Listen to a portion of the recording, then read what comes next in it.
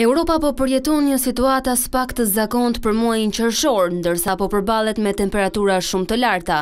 Në Francë, kjo e premte ka shënuar një rekord të ri.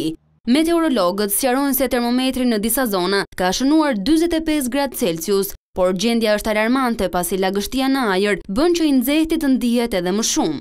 Temperaturat nuk do të bien as gjatë natës, duke qëndruar mbi njëzet gradë Celsius në shumë rajone. Presidenti francez Emmanuel Macron ka paralajmëruar se këto kushte ekstreme të motit ka të ngjarë të bëhen më të shpeshta si pasojë e ngrohjes globale. Ministria e Shëndetësisë ka marrë masat për t'iu përgjigjur çdo lloj emergjence. Situata paraqitet edhe më kaotike në Spanjë, pasi qindra hektarë pyje janë djegur.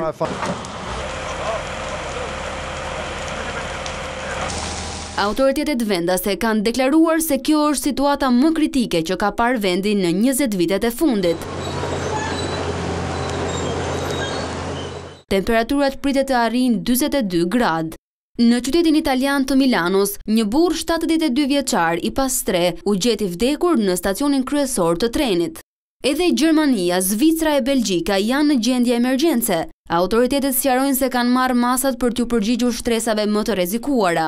Qindra shkolla janë mbyllur, janë shtuar mjetet për ajrin e kondicionuar, si dhe furnizimin me ujë të pijshëm.